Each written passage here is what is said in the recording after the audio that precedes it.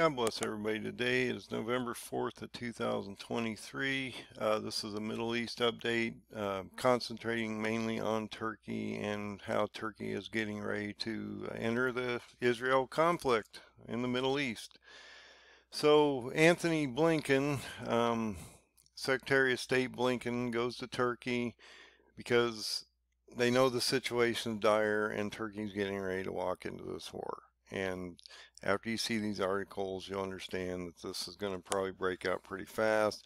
I don't know if that November 5th date I keep throwing down will matter here, but it's a real possibility that something could break out in the next 24 to 48 hours or within the next week. So, whatever. Um, this is getting getting pretty hardcore out here. We need to watch these things. So I'm going to bring you up to date on what's going on with Turkey in general and why they might break out in um, Syria soon and do an invasion, as I've been talking about for some time.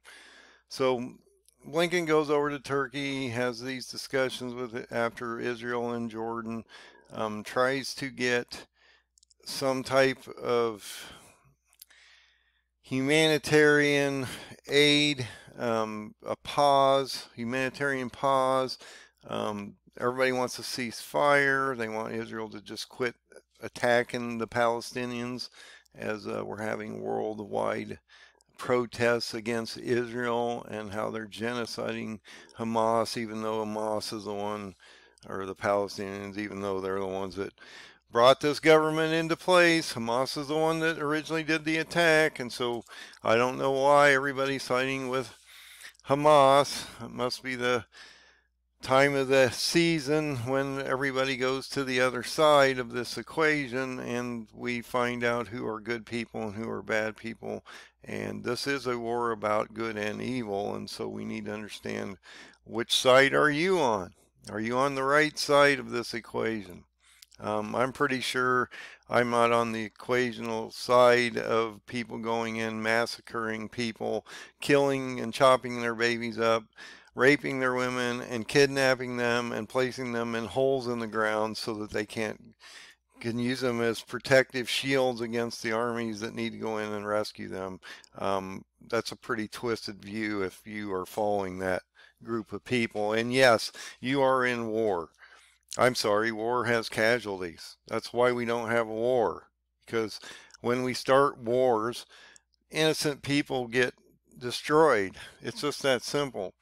But Hamas, or the Palestinian government, is controlling the narrative over there and the media, and so you're going to see these numbers driven up tremendously over what they probably are, and so we just need to keep all that in context. So, um, Antony Blinken goes over, underscores the importance of protecting civilian lives in Israel and Gaza because they have to look like they're trying to work both sides of this equation, and that's hard to do. Look, you're in a war, and it's hard to be a humanitarian to the other side when you're fighting them, okay? And I know it's the civilian populations, but regardless, the civilian populations are the one that put this government in place. This government decided to do this original attack, and now they're taking on the consequences of that action.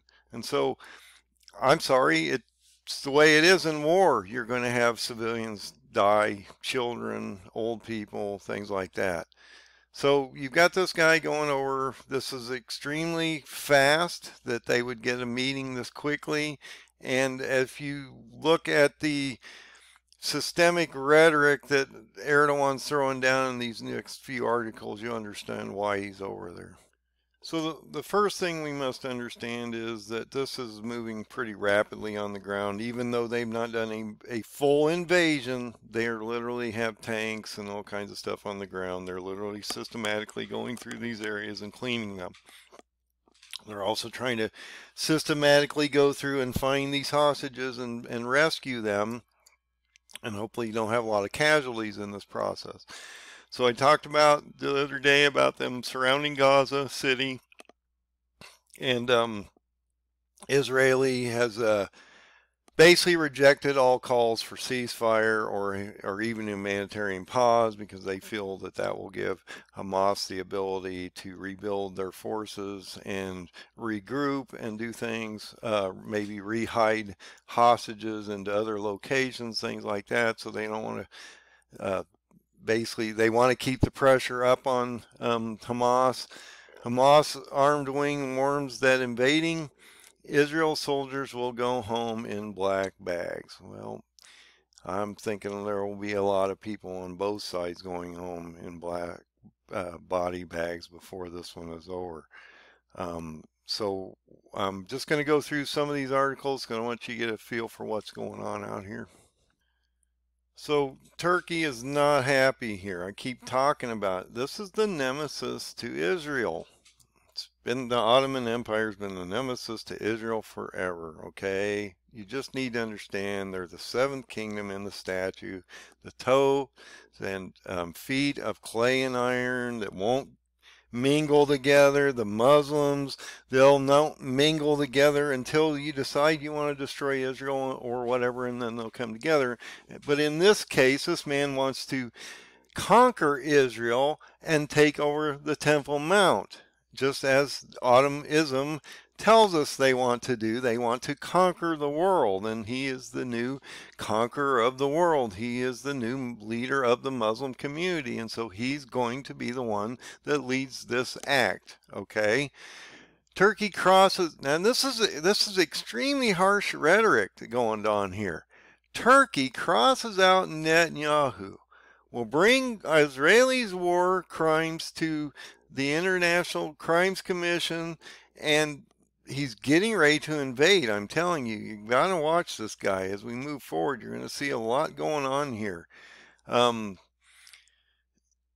Erdogan indicates that Netanyahu is, is someone that they can no longer talk to and that they've crossed him out. And so there is no there's no ties between Israel and Turkey at this point. It's all in shambles. And this man is going to get ready to do what he's been talking about for some time now, and that's genocide those Kurds. But when he does that invasion, he has no choice. He's got to go into Syria, okay, through the land invasion, which is going to affect the, the uh, Syrian defense forces, the Kurds, and the Arab nations over there and this is going to get ugly soon as he drives his armor down through there, as he has the second largest army in NATO. And this is going to be extremely brutal. And you think the refugee problem is pro a problem over in Gaza? Wait till this thing kicks out. You know, we keep shipping guys over there, and we keep shipping armor over there. We keep shipping more ships over there. We had everything over there, and then we took it all out, and now we're putting it all back in. Um, you tell me. What a waste of resources. Anyway, Iraqi resistance.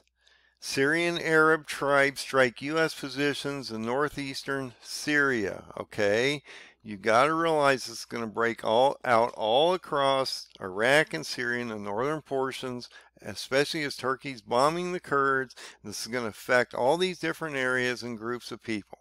Okay, so um, it says armed factions in Iraq and Syria have significantly stepped up their attacks on U.S. Army and its proxies militias in solidarity with the Palestinian people. Wow, in solidarity with the Palestinian people. So all these groups, and we've talked about all these groups that are coming out against um, Israel and the U.S. at this very moment. And so we're watching these stepped up attacks. Um, airstrikes launched on Iraq once again hit U.S. occupation bases in northeast Syria overnight on November 4th, coinciding with a ground assault by Syrian Arab tribes in this region here. Okay, and so you need to understand that there's multiple everybody's watching Israel, okay? Everybody's optics on Israel. They're not watching the bigger picture. The bigger picture is there's other players getting ready to come into this. And the one you need to be really watching is Turkey. And because the rhetoric is so harsh, now we have um, one senator, probably more, um, but Senator Lee is floating kicking Turkey out of NATO over Erdogan's Hamas's stance because he look he does he's not he's not a democracy anyway. They call it a republic of turkey but that is just ridiculous. It's a it is a dictatorship under this man that's ruled this country for over 20 years okay? And he's like putin. When he doesn't like stuff he like jails and kills them okay? You need to understand what these people are and, and that they're radical. They're radicalized and we don't get along with them. So we got a senator out here saying, hey, get out of here, Turkey. Why are you even in here? Um, you know what? EU's been trying to hold you up for 40 years. Maybe that's why, because you're not a good player in the room. Okay, so I always take you to Syrian Live Maps because I think they keep updating things fairly fairly soon. It's it's hard to get information like on the fly as this thing's happening, so I try to bring you the most pertinent and up-to-date information that I can. Um, it says the Iranian foreign minister in Turkey, if the Israeli attacks on Gaza continue, consequences will be severe. Well, okay, now understand Iran and Russia have sort of joined forces here and Assad. But Turkey's not on this side, okay? They're on the other side of the equation. So this is not going to, it's going to be a clash. We I just did that video about how Turkey will clash against Iran in the future. And this is going to be in a Daniel 8 prophecy that occurs. We've been talking about Daniel 8 and how the Kurds have to align or Turkey will force the Kurds to align with the Persians or Iran. And then when that um, pooling of those two groups come together between Baghdad and Shush, Iran. You'll see those two join, and then you'll see Turkey come over and crush them. Um, this is starting to form, and so you need to watch that. Um, Turkey is bombing certain areas out here. You can go and you can look at all these areas that they're bombing, different things. If you click on it, it'll show you on the map where that is. Um, so this is an ongoing thing that they haven't stopped. This is actually the uh, Turkey map in the Syrian Live maps, just by the way. Um, Turkish president, the priority day, today is to impose a comprehensive ceasefire in Gaza, in the Gaza Strip, which is not occurring. They're not going to stop. And so Turkey's going to have to reassess their situation as we move forward, potentially do something in the next 24 to 48 hours as this breaking down. And he's watching Gaza City being surrounded um, by the Israeli forces as we've also mobilized our forces over there and probably have people on the ground. We at least have warships and uh, aircraft that are bombing things right now. And so we are physically in this war. Um, the Turkish President Erdogan, we will support regional peace formulas and not those that gradually erase Palestinians from history. So he's going to protect the Palestinians, um, the Gazans. Um, in this article here, as he indicated in this article, this is all about the same time. He indicates that Netanyahu isn't someone he can continue to contact we wiped him out, he said. Look, these are strong words. You know, you're talking about really basically eliminating him at this point, depending on how you want to read this rhetoric. Um, so I don't think this is going to turn out really well. Turkish foreign minister summons our ambassadors to Tel Aviv back to Ankara because the Israel side did not respond to ceasefire demands. So this is all falling apart. Turkey's going to have to make their next move now. You know they're siding with Hamas and the Palestinians, so you know where they're going to go. They're going to go to Gaza.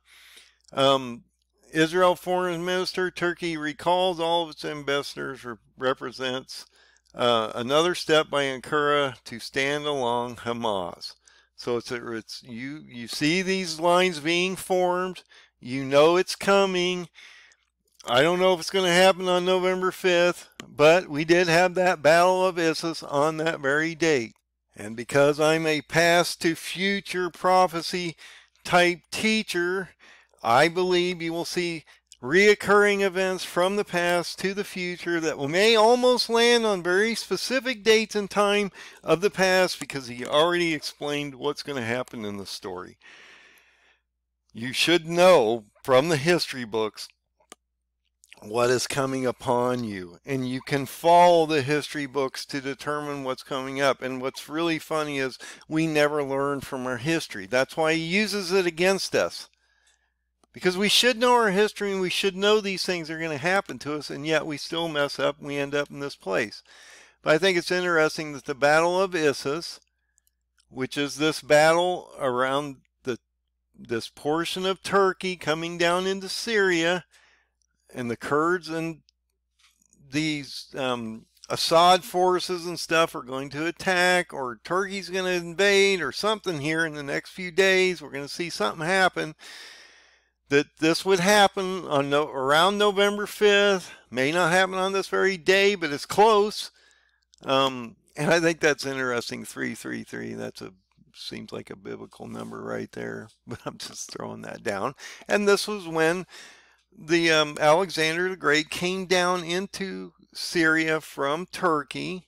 He had just um, basically conquered Lydia, come down into Turkey, and then he came into Syria before he goes down into Lebanon, goes around Israel, down into Gaza, down into Egypt, comes back up to Tyre, Lebanon, goes to Erbil, destroys the Kurds. They drop down to Baghdad towards Shush, and then we see them destroyed along with Iran, which is your Daniel 8 prophecy. Once Daniel 8 prophecy occurs, then you go to Ezekiel 38, 39 prophecy. Okay? So it's extremely important that we're watching this November 5th date at this moment in time. I'm, I'm going to use this article, even though I know this is a branch of Hamas. Anytime you see Palestinian News Agency or Hamas, um, that's Hamas, okay? Because Hamas runs the government over there. So when you look at the Palestinian news feed, it's going to be heavy propaganda towards the other side. Okay, but I, I'm using all kinds of resources out here. I'm just giving you the information. I'm giving you what's going on on all different sides. You can determine what you think is going to happen out here. It's not my job to do that for you but it does indicate in this article, as it shows here, and it's going to give all these beautiful pictures of the Palestinians' plight, and it is bad over there. Don't mean me wrong. There's people dying on both sides of this equation. It's terrible. But Hamas brought this on these people, okay? And they knew this was coming. They've been planning this for months, okay? This is not an overnight sensation. But as you can see, this is week four, which is amazing because Israel usually finishes their battles fairly quickly. This one's going on for some time already. It's going to take months of years. If God doesn't step in, it's going to take a long time. Okay. But you've got all these demonstrations in London, um, you know, and these are all gathering around to support the Palestinian people. Now, if you realize that if they're supporting the Palestinian people, they are not not of God, probably not our God, because they're they want Allah to come back in this case, not the God we understand, the Christian God, the God of Jesus. Okay, this is the God of all um Muhammad and the Mahdi thing going on here. Okay, you got to understand what's going on here. But there, there, there's protests all over the world right now. France, Paris. Um, they got them down in Berlin, Germany, Italy, Denmark, Sweden's going off, um, mainly against Kurds there, um, different things going on there. But you got them in Washington, D.C., and across the United States, and all these different colleges and different things like that. And so realize there's a lot of propaganda being pushed towards the Palestinians people and their plight. And it is great. And I think they've opened up these corridors to help some of these Palestinian people because it's not the innocent people that we need to be concerned about. And there is a lot of good Muslim Palestinian people, okay? You just have to realize that most of them are radicalized and they don't believe in what we do. And they've been radicalized for generations. And so this is going to become a problem for us because it's hard to fight an ideology that says that they want to kill you. And Erdogan's getting ready to restart this caliphate as their new Mahdi, okay? And I made a comment to a guy the other day. He said, Well, this isn't, you know, I'm over here, so it doesn't affect me, is basically what he was telling me. I said, Well, I'm look. You may not believe in religion, or you may not believe in what's going on out here in the sense it's a religious fight between evil and good. I said, but they do, okay? They would strap a bomb on, walk into your restaurant, and blow your up, okay? It's that simple. Now, I hate to be stark about that, but this is this is what you're up against. You know, these gay people that or transgender people or whatever you know i don't get into the names thing i don't I, I can't even tell you what people are anymore there's too many names to know what they are and i can't if you defend somebody by trying to figure out what they are okay they would take those people and throw them off the highest building possible and kill them even though they're standing there in the protest basically justifying this kind of behavior, this demonic behavior that these people are throwing down. This is perverse behavior, okay? It's not nothing nice about people walking into your look, these people, let's take your position, whatever city you live in. A group of armed people come into your city, they take your loved ones, they kill half the you know, a thousand of your population, they steal your babies, they take a lot of people across the border, and then they still have them. Okay? Do you think you'd be happy about this? I'm pretty sure the Israelis are upset. this is the worst thing that's happened to them since the Holocaust. So they aren't looking nicely upon this, okay? And if you're following these demonic people, these Palestinians, or their Hamas leadership, I should say, not necessarily that all the Palestinians are demonic, but their leadership is. They would use these people as shields. This poor little child is smiling.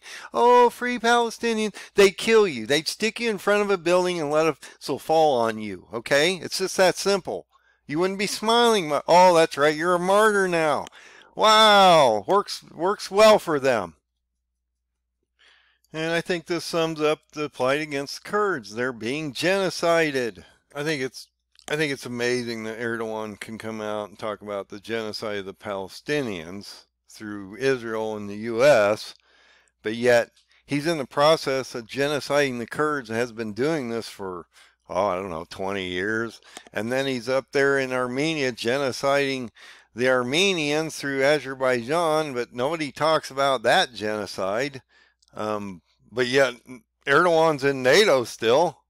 Why? Maybe that's why um, Senator Lee's decided that maybe it's time for them to leave. So as we get in here, the Kurds are in trouble, and these people are under massive judgment, as it indicates in Daniel 8. It's just that simple, and I don't think prayers will help these people because God says after a point in time, prayers will not help groups of people. They're just under judgment after a point. Our hope is that by displaying the widespread scope of these Turkish war crimes against civilian sites, the international community will demand accountability against the preparatory orders uh, given to them in Ankara. Um, and so you need to understand that this is a constant thing that's going on with the Kurds. No one ever reports this. No one ever talks about the Kurds. Okay.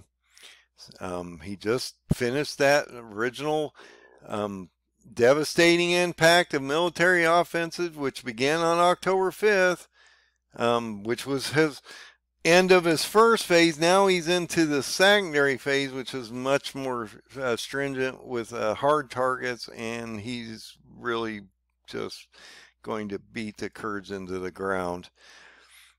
Um, so you just need to understand um, that the Kurds are a major player here. If you go into Daniel 8, 10 uh, through 12, you'll see Darius or Darius the Mede. That's important. The Medes are the Kurds, and so we need to understand who they are. And the Erdogan is not happy with Sweden still. He's talking, that's what I mean. Here's another article. This just came out today. He's slamming the Kurds and Sweden on not doing enough to curb these Kurdish militants that he's having issues with, and so the Turkish leader comments may signal further delay in Stockholm's bid to join NATO. He's not going to, he doesn't care. I'm telling you right now, he doesn't care. Um, he hasn't been allowed to join the EU for 40 years. Why do you think he would care as they just now are starting to move Ukraine into there, and Sweden has become such a problem with the Koran burnings and different things like that um, that he's going to allow um, Sweden to become part of NATO. He will leave first, or maybe they'll kick him out first, depending on how that goes. So one of the major problems with Turkey is its economy that's had inflation beyond crazy. Now you've got like a what they're lying to you. Supposedly you got a 4 to 5% core inflation, okay? They got 65%.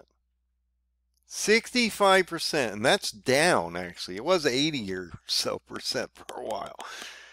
So, um, they thought it was going to be 58. It's moving up. Anytime you get into economic devastation, you go to war. Okay. It's just that simple.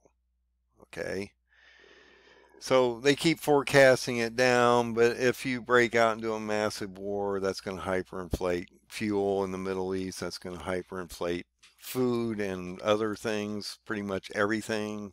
So if Turkey gets into this, which they will, and there you go, they had a 24 year high of 85.5% in October of 22. Oh, wow. Now they're only paying 65% inflation. That is 10 to 12 times higher than what you're paying. You can't even imagine trying to eat or feed your families and stuff under this inflationary tyranny. And Erdogan's done some really bad things by doing exactly what he the opposite of what he should have done uh, financially to get his economy back up and running. He's done exactly the opposite thing by lowering rates instead of raising rates to get the inflation down. And now he's in a mess. And so now he's getting ready to go to war. It's just that simple.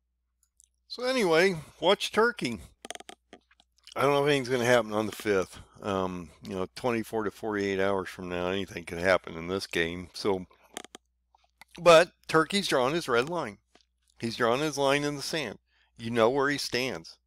He's wanting to rebuild this caliphate as he's been talking about for 20 years now and how he's going to rebuild this neo-ottoman empire by the end of 23 and it looks to me like he's on the path to do that now whether he's going to accomplish all this in the time frame of something going on on November 7th, as it indicates in the Battle of Issus. You know, it's just a date I know in the past that something happened similar to this that could happen in the future. I've talked about this past to future thing, whether it happens on those or very specific dates or times. It could happen close to those times, and the calendars are, you know, maybe off a few days, just as the Yom Kippur War 50 years ago happened and then we saw another reoccurring instance just recently and so we need to watch all these things. But regardless this man here erdogan is going to change the middle east in days in weeks at best. He's not going to sit this one out. And his rhetoric is extremely challenging for both israel and the us and NATO and EU and all the other people that are affiliated with this problem. But this man is, in my opinion, the white horseman that will bring a quarter of the world into war here soon, and he will die on the sixth seal by the wrath of the Lamb, as it indicates in 616 Revelation. Then you start a trumpet phase, which is even worse.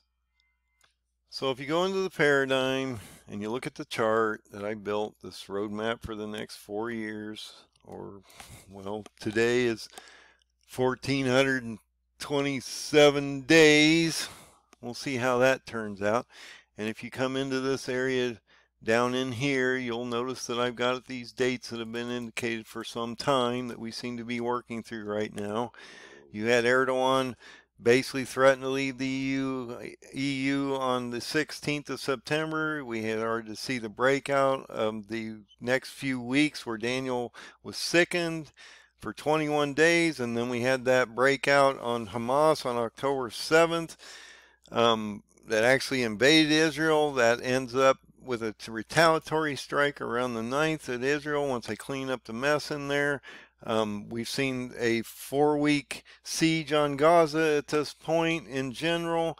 Um, November 7th is coming up, and that's when we potentially see Turkey invade into Syria and get into this battle. And then we start to walk into that December 22nd to 23 date, which is the besieging of Jerusalem of uh, tenfold nations. So we would see potentially a, a falling of Iran and the Kurds in here somewhere, which would finish your Daniel 8, lead you then into a Ezekiel 38 39 prophecy where we see tenfold nations of radical Muslims join together, um, headed by Turkey and advance towards Israel. And um, that's a real problem um, as we move forward. So, and then, like I say, after that December 22nd date, God gives them an hour of power or 15 days on the biblical calendar, which then would take you to January 6th of 2024. And to me, and I may be wrong, but that is a six seal event. And if you don't know what a six seal event is, you need to go read Revelation uh, 6, uh, verse 12 through uh, 16, I believe. And you will see what that is all about and how the stars are falling on those nations that go against Israel. And there's a chain of fire event, tectonic plates, uh, mountains are moving, islands are moving, all people, all animals on the planet feel this event.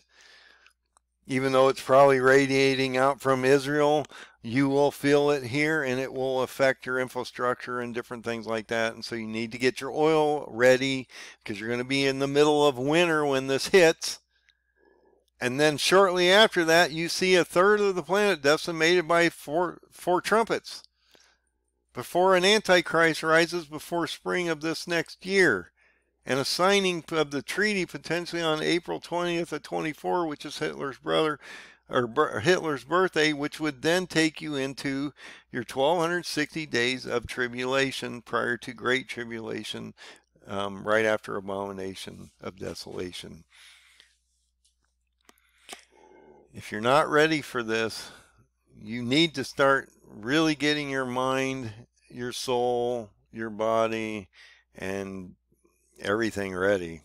Uh, this one's going to change everything soon um, you are into this area over here in this portion of the calendar. Um, you're moving into Antichrist fairly quickly here.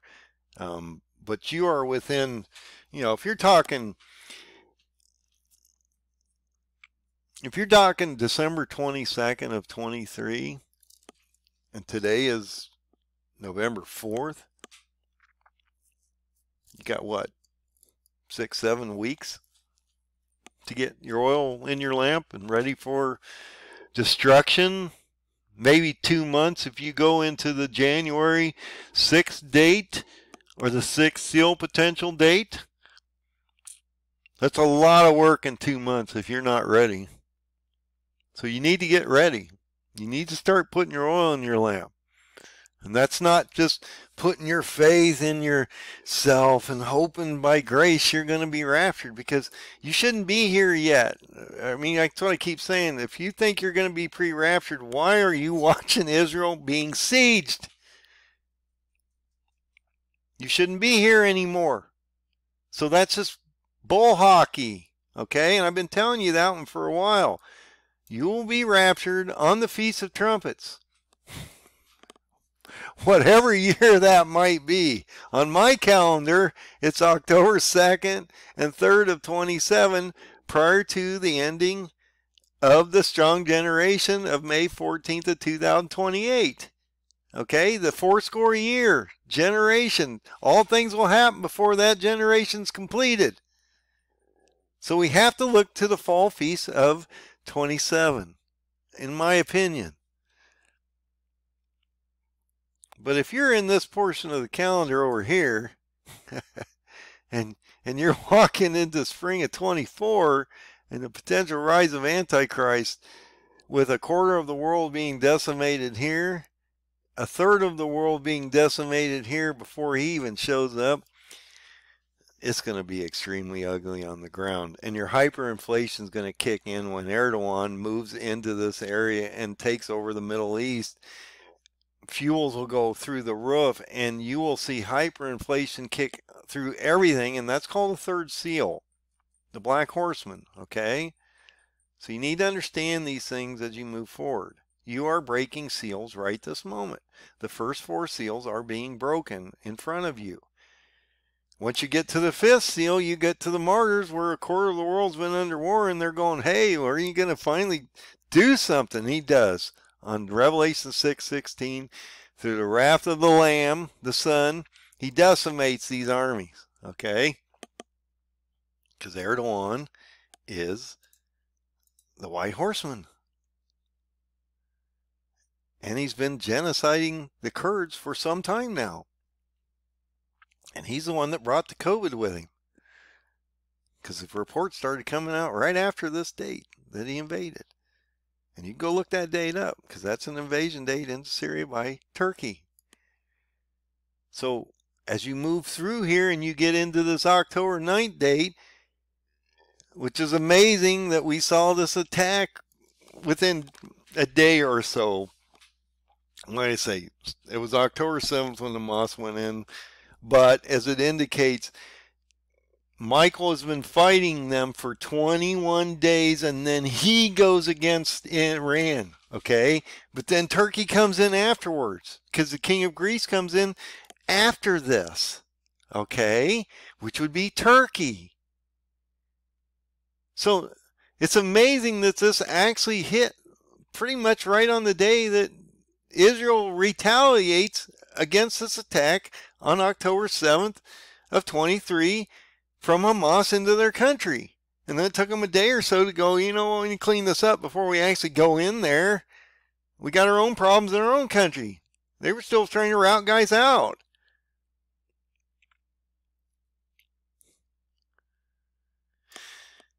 Know, this paradigm's scary because it gives you a blueprint to the future okay, which is being hidden to the other side because the other side won't believe this can be can actually map this stuff out. But you have Biff's playbook in your back pocket. If you don't know what I'm talking about there, go look at um, Back to the Future. I think it was the second one, maybe, where they go into the future. Um, I think it's the second one. They go into the future, and Biff runs the whole thing because of that book that was given to him in the first movie. Okay, he knew what was coming, so he knew how to build his empire on something that he could already see happening because he had the playbook in his back pocket. You have a playbook in your back pocket, okay? It's called the paradigm that God gave me to give to you. It's just that simple. You may believe in it or you may not believe in it, but it seems to be playing out and why he gave it to me, I don't know. I guess I'm the only one that could figure it out, write it down. It's what I do for a living. Seem to work well with my talents. We'll see how this all turns out as we move forward. And it doesn't make me any more special than anyone else out here. And that's the one thing you need you to understand. Many people are gaining information from God right this moment. They're seeing dreams and visions and images and all kinds of stuff. Now, what they're doing with that information, I don't know. I've got enough things on my own plate to keep track of their stuff. I'm just telling you that uh, this is my information that I've come up with, and this is where I think that we're heading. You are within days, two months of a six seal event potentially occurring. January 6th based on my maps. And if you don't know what that is, then you need to go figure it out. Because this one's going to get extremely stupid quickly. Are we going to see this breakout on November 5th? I don't know. I think something's going to happen soon. Turkey's been talking up the rhetoric and the chatter pretty strong, and you're watching all the articles come out that he's not going to stop. God bless. Have a great day. Find the open door. Find Jesus. Get ready for this one because this one's going to hit hard soon.